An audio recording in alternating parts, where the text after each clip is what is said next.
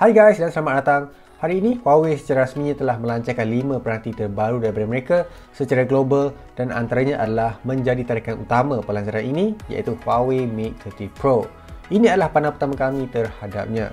Huawei Mate 30 Pro ini hadir dengan rekaan yang cukup menarik sekali dan boleh dikatakan lain daripada yang lain. Kaca belakang yang seakan matte dan seakan gloss ini kerana ianya adalah dua-dua. Tujuannya bagi mengurangkan cap jari apabila dipegang dan gloss di atas menambahkan lagi tarikan terhadap peranti ini. Di sekeliling peranti, hanya terdapat satu butang kuasa sahaja. Yang sedikit ke belakang, ianya kerana skrin 30 Pro adalah unik. Di bahagian bawah terdapatnya port sambungan USB-C dan pembesar suara.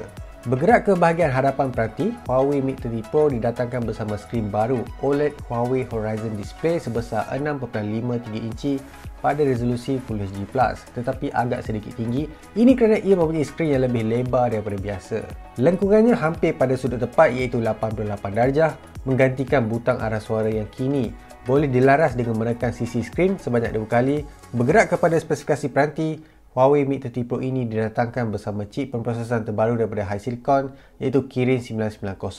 Chip ini juga membolehkan beberapa fungsi kamera baru dapat dilaksanakan. RAM yang disediakan adalah 8GB dan storan dalaman 256GB yang boleh dikembangkan melalui slot memori hybrid. Sistem operasi yang digunakan adalah EMUI 10 yang terbaru daripada Huawei. Fokusnya kali ini memudahkan segala peranti berhubung berinteraksi bersama OS supaya lebih mudah contohnya high-car infotainment dan sebagainya. Kamera yang disertakan di sini agak menarik iaitu dua 40 megapixel wide biasa dan pertama kalinya 40 megapixel ultra wide cine lens yang turut menyokong night mode yang ada pada peranti Huawei sebelum ini. 8 megapixel telefoto bersama OIS dan 3D depth sensing camera di bahagian belakang. Kata Huawei anda kini boleh mengambil video di dalam gelap tanpa masalah dengan gabungan sensor baru.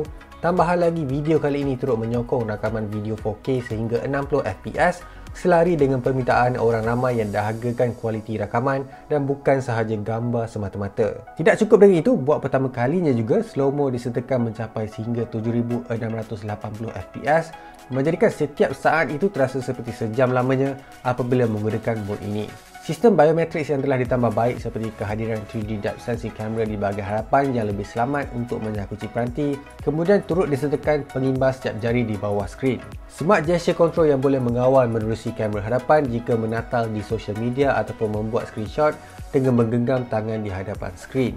Jika dahulu Huawei pernah tunjukkan perkongsian daripada laptop kepada peranti pintar menerusi pengesahan NFC, kini mereka telah memperbaharui fungsi itu menjadi Intelligent Multi-Screen Collaboration yang membolehkan anda untuk mengawal peranti menggunakan laptop ataupun sebaliknya. Ia juga boleh memindahkan data dengan hanya drag and drop. Kemudian jika anda sedang menonton wayang di dalam telefon pintar, ia akan memainkan audio menerusi speaker tersebut bagi menambah pengalaman menonton wayang yang lebih baik. Kesemua fungsi ini dikuasakan oleh bateri yang turut dipertingkatkan kapasiti kepada 4500 mAh, boleh dicas penuh menggunakan 40 watt charger yang dibekalkan serta menyokong reverse wireless charging yang lebih pantas berbanding model pendahulunya. Jadi itu dahulu pandangan pertama kami terhadap Huawei Mate 30 Pro. Seperti biasa, tinggalkan like dan subscribe. Kita berjumpa lagi di video seterusnya.